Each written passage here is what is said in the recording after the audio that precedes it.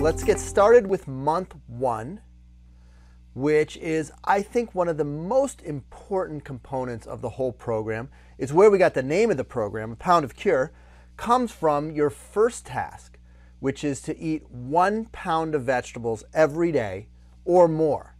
And I've talked to patients about this at this point countless times, and I'm not never surprised when everybody's eyes get real big and they look at me like, whoa, a pound of vegetables. That sounds like such an enormous amount of vegetables. But what you'll find when you get into it is it's actually a very reasonable thing to do. And without making huge adjustments to your diet, you can bring in a pound of vegetables quite easily. Now, some people kind of take it very literally and do cal- uh, carrots and celery and put it on a scale and kind of weigh it out and just eat the same carrots and celery every day in addition to the way they were eating, which is okay. It's a good way to get started. But I really like for this month to be an exploration of vegetables, of different types, of different ways of preparing them. There's so much variation and so much that you can do with vegetables. And they can be absolutely delicious to the point where eating a pound is a pleasure and not a chore. But really, a pound is a large salad. When I was in the uh, uh, when I would, uh, uh was working in the hospital, um, I would go to the cafeteria every day and I'd get a large salad every day. And at the end, you had to weigh it so that they could determine how much to, to, to charge you for it. And I found that I easily exceeded a pound with my salad most days, more often than not. And it does take a few extra minutes to eat that large salad, but it's absolutely worth it. And I think that's a great way. You can really get it in almost in one meal at lunch with a large salad. Now, get, don't get me wrong, it's a large salad but it's something that's it's a reasonable amount of food to eat in one sitting. Uh, a 14 inch cucumber, sliced up, broken up into two parts of the day, that's going to be a pound as well. Four tomatoes, six carrots, a small head of celery, about two thirds of a head of broccoli. Um, all of these uh, will represent around one pound of vegetables. And if you really look at it and, and even kind of break it up, maybe two tomatoes and three carrots, you find that it's not that much food to eat to add to your diet. Um, and next time you're at the grocery store, you can take one of their scales and put some vegetables on the scale and kind of get a sense of your for your for yourself of exactly what a pound of vegetables is. Um, really, as much as a pound is kind of a good place to start, and I do encourage people to kind of weigh weigh it and stick to it literally. It also really is a metaphor, a metaphor for eating more vegetables than you are right now, for eating as many vegetables as you possibly can, for looking at every meal and asking yourself, how can I add more vegetables into this meal? Now, this is hardly a new concept. Our grandmothers have been telling us for, for decades that we should be eating our vegetables first. But somehow in the diet industry, this, this message has gotten lost. My goal for you is to, to, to, to bring this, this excellent advice that we figured out hundreds of years ago back into our modern day and to start eating as many vegetables as you can because the more vegetables you eat, the more weight you will lose. And really, a pound is the minimum. When you hit that two pound mark, and, it, and I'll tell you, two pounds of vegetables, that's a lot of vegetables. If you're eating two pounds of vegetables a day, you're consuming them breakfast, lunch, and dinner, and in between as well. It, it takes a significant effort to get to two pounds, but it's totally possible. Um, but I don't want to tell you that's easy. A pound, not so bad. Two pounds, that, that's going to take some time to get there. Um, it's really difficult, if not impossible, to gain weight when you're eating up to two pounds of vegetables a day. So, um, when we talk about vegetables, there really is a spectrum of healthfulness and of the effect, of the uh, weight loss effect of vegetables, and it's all based on a, this concept we call nutrient density which is how much nutrition is there per calorie. So if we have a food that has a ton of nutrition in it, think spinach with very few calories. Spinach has an almost insignificant amount of calories in it. That is an incredibly nutrient dense food. Let's now look at a Big Mac almost no nutrition in a Big Mac, a little bit of protein in the in the beef patties, but really protein as we're going to talk about is not nutrition. I want you to think vitamins and minerals when you think about um, nutrition, not protein and carbs and fat. Um, so a, a Big Mac has a tremendous number of calories and almost no nutrition. So very little nutrition, a lot of calories. That's a very calorie dense food. And our goal is to eat as many foods on this nutrient dense side. And in order, green leafy vegetables are the single most nutrient dense foods that there are, followed closely by solid green vegetables like broccoli or asparagus. And then non green vegetables, think about things like cauliflower. We also have colorful starchy vegetables like beets and sweet potatoes. These actually don't count towards your pound. We're really looking for these vegetables from um, here on out. Now, it doesn't mean you can't eat colorful starchy vegetables, but it's, accepts, it's really easy to eat um, a pound of colorful starchy vegetables because they have a lot of weight to them. And it's not where I'd want you to start. I really want you to focus on these, these three categories of the green leafy, the green vegetables, and the non-green vegetables. Um, so now that we've kind of defined what our vegetables are, I want to re-emphasize this point of nutrient density. So this is what I call the 100 calorie snack pack of spinach. It's a one pound bag of spinach. You've, you've all seen these in the grocery store. It's a good size bag. To sit down and eat that entire pound at once would be very, very difficult. Not really something that I would recommend. Um, uh, but it proves that point. Imagine how much nutrition there is in that one pound bag of vegetables. And it's only 100 calories. So, so much nutrition, so few calories. Let's compare that to the usual 100 calorie snack pack. It's they'll you know the, the they'll have those little cookies and they're not large cookies they're these little bite-sized cookies and there's like five or six of them in in your 100 calorie snack pack. And they sell that to you like it's something healthy and good to eat um, when you could get when it has absolutely no nutrition when if you if you consume 100 calories from a pound of spinach imagine how much nutrition you're going to get from that. So this is our 100 calorie snack pack and it really represents the most nutrient dense food so beyond the usual uh, vitamins that we think about like uh, vitamin d and all the b vitamins like thiamine and folate um, and all the other minerals that we, we talk about i also want you to start thinking about this concept called uh, uh, phytonutrients.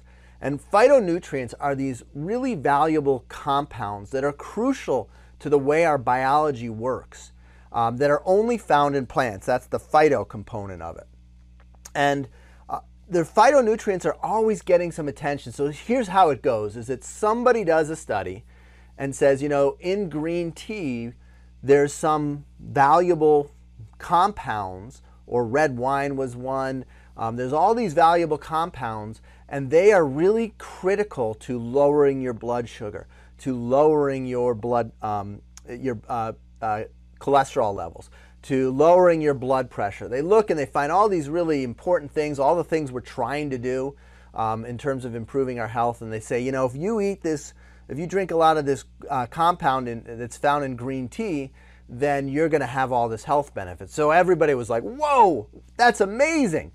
Let's try to take the extract out of this green tea and sell green tea extract. And because of this study, we can claim it's going to lower your blood pressure, it's going to lower your uh, cholesterol, it's going to do all these amazing things, it's going to help you lose weight. But what we find is when you take the phytonutrient out, when you when you just essentially crystallize it out, and and then try to put it in a pill form or some type of supplement form, almost all of the health benefits go away.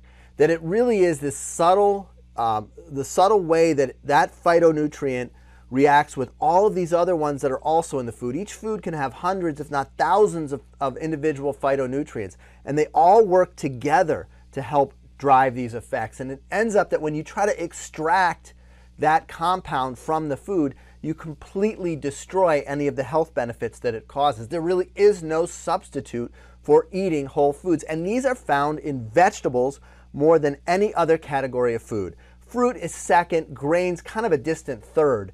It's really fruit and vegetables where we're going to find all these compounds. And if you start looking at whatever's showing up on the Dr. Oz show or in the popular press as some miracle compound that will cause weight loss or lower your blood pressure or whatever it is, it almost always comes from a fruit or vegetables. Raspberry ketones is a recent one that comes to mind. So I want you to start thinking about just beyond fruit, uh, beyond the vitamins and minerals that we see listed on the back of the label. I want you to also consider these phytonutrients, which are so critical to your health. And we find that a diet lacking in phytonutrients, which in essence is a diet lacking in fruits and vegetables, causes increased risk of dementia, diabetes, heart disease, as well as causes obesity and increased hunger. And so the question that I want to pose to you, and I think it's a fundamental concept that, that's so critically important to understanding why the Pound of Cure program works and why it's different from typical calorie restriction methods, is the question I'll ask you is, is obesity a disease of eating too many calories? Or is it a disease of eating too little nutrition? Because we've described this metabolic thermostat, and we all have experienced this in our lives, that when we calorie restrict ourselves, our hunger increases, our metabolism slows down. It's all, the, the physiology behind this is all working.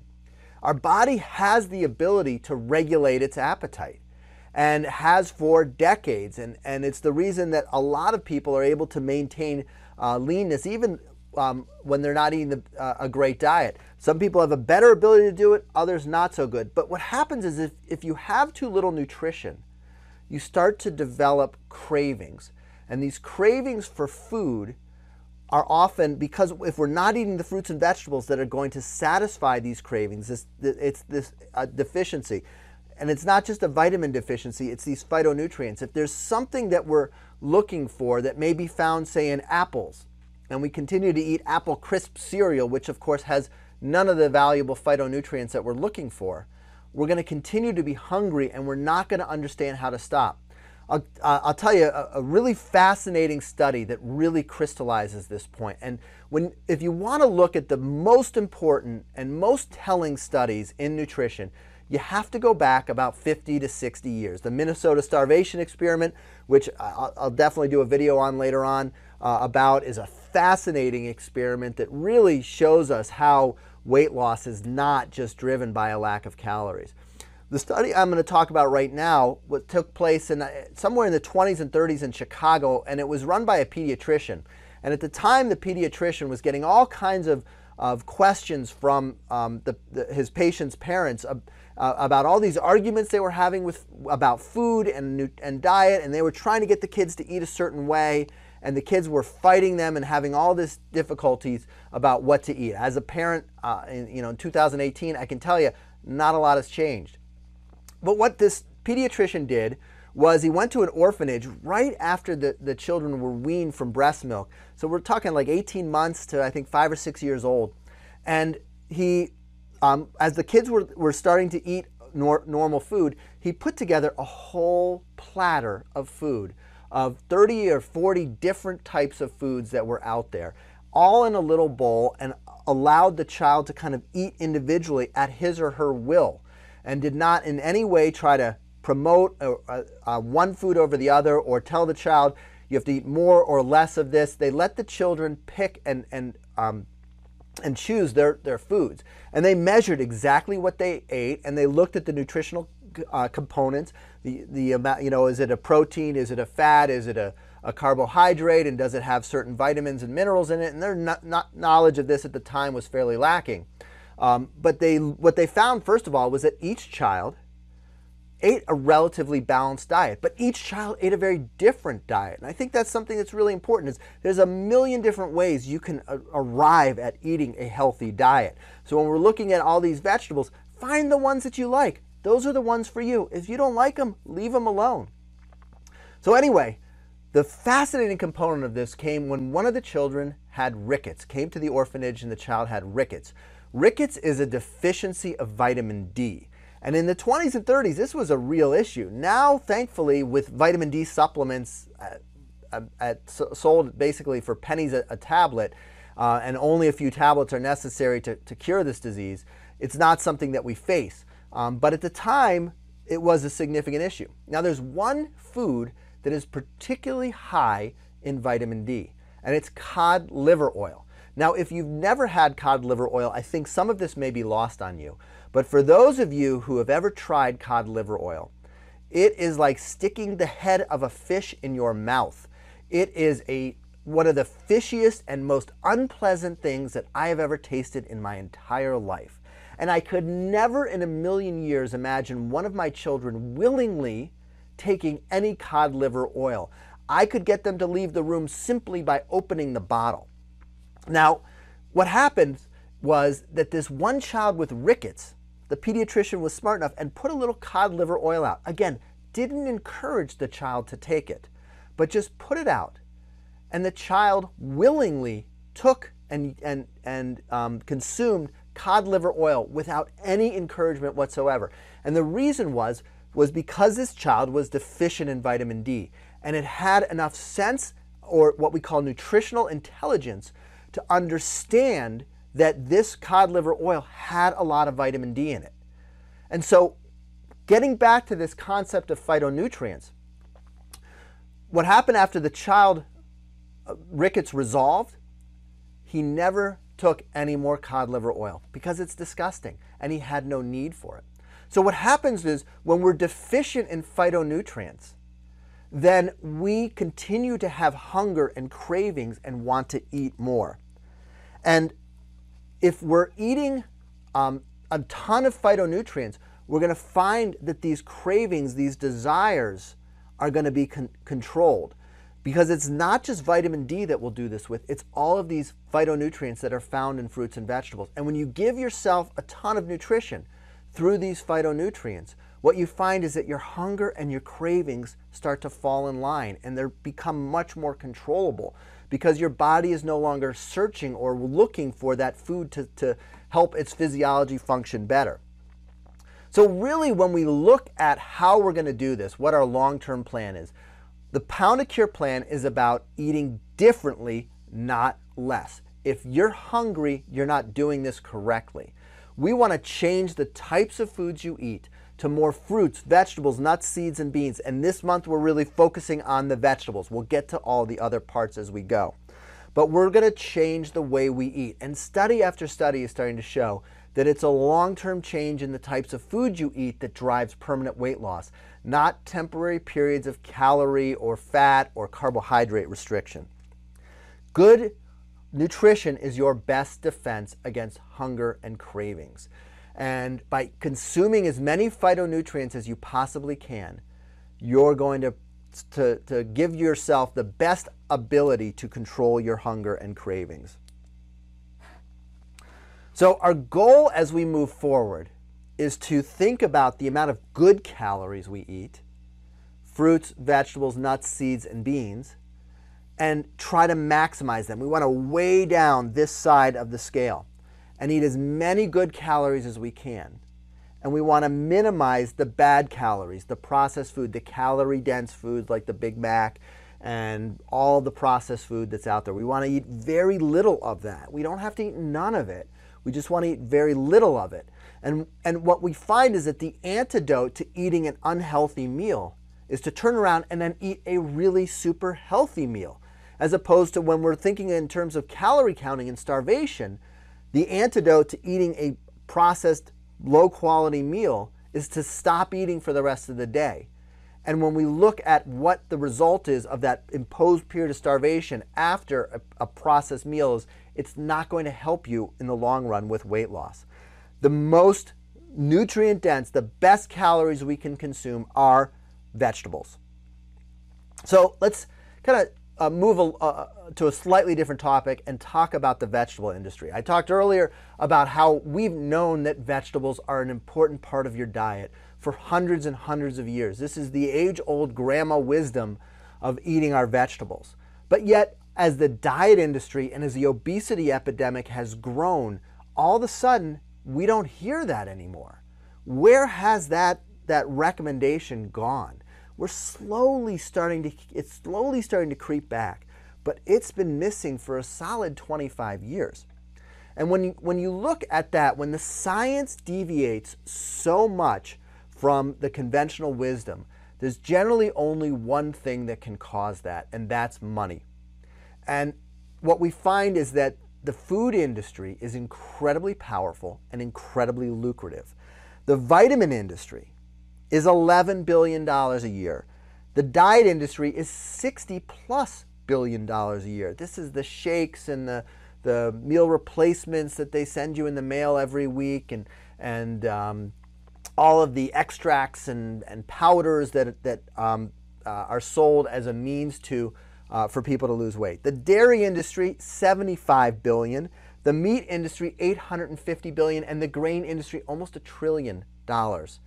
These are huge, huge industries. The vegetable industry is $5 billion a year. It is such a tiny, tiny industry. There is no marketing budget. There is no money to be made in vegetables. And because of that, it hasn't, this message has been drowned out by all of the other low fat, low carb, count your calories, you take this magic pill. Uh, we're, the, the messages that are being that are that we're hearing and that are dominating our thoughts and ideas about weight loss. It's time for us to start looking back to the vegetable industry as the source of of our of the message that we want to hear.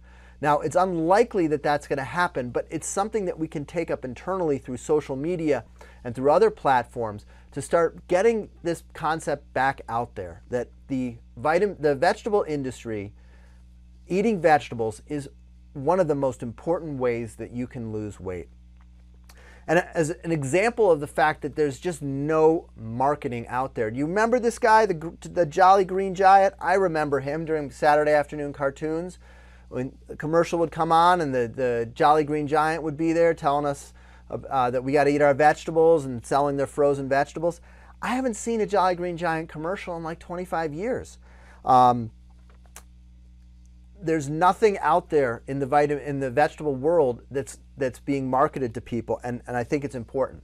So when it comes to eating vegetables, sometimes people think, well, do I have to get the organic ones, and do they all have to be raw? You know what? This does not have to be an incredibly difficult task.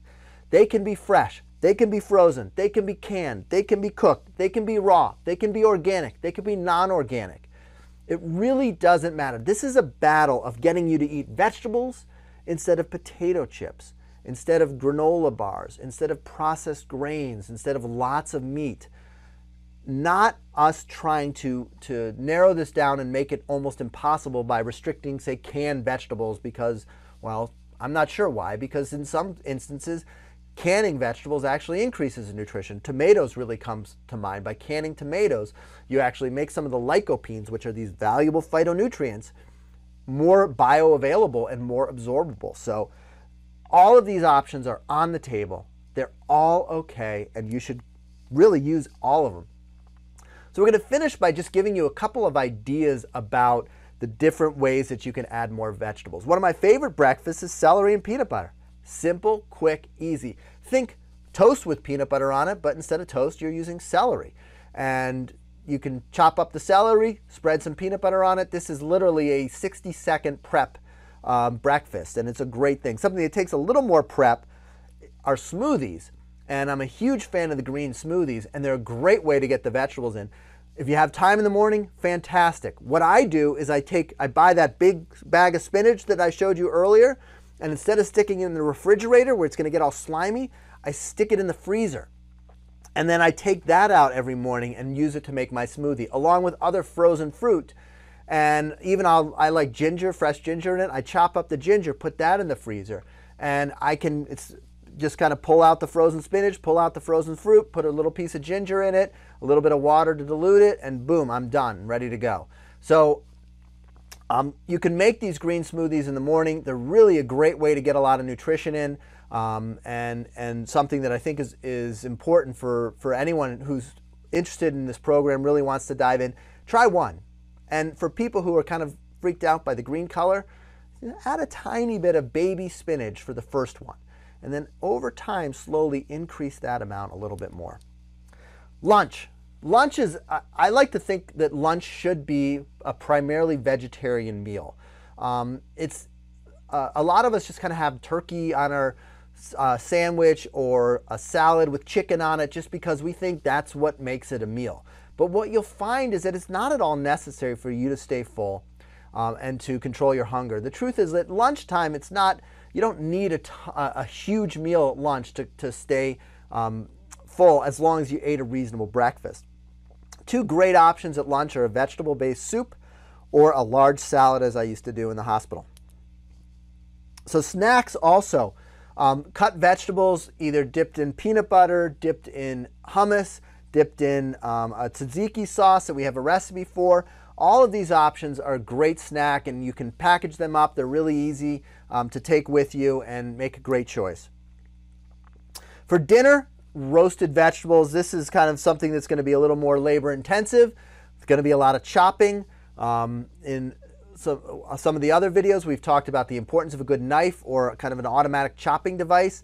And these things are generally not um, uh, terribly expensive and are really critical. You could make and, and chop up something like this in a relatively short amount of time with the right tools. But if you don't want to go there, just some of these frozen vegetables. And you can take a little bit of seasoning, pre, pre-made seasoning, and, and season them up, and then you can either roast them or steam them. Generally, roasting frozen vegetables doesn't work out great, but it, you know, it can in some circumstances. Um, typically, steaming them is better. And, and that is a great thing. Just add that into your regular dinner and make sure that you know everybody has the option to eat six to eight ounces of vegetables at dinner. Um, trying new recipes is a super important part of this component as well.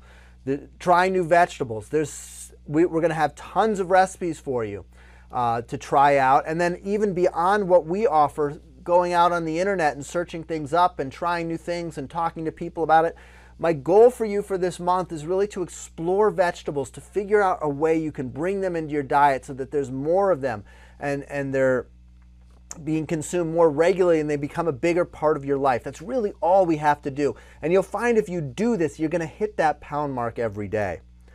So that really concludes our talk about the first month. Again, an incredibly important month in terms of making sure that we start adding nutrition to your diet. Um, and uh, coming up next, we're going to talk about month two, where we're going to tackle sugar, artificial sweeteners, and address the values of fruit.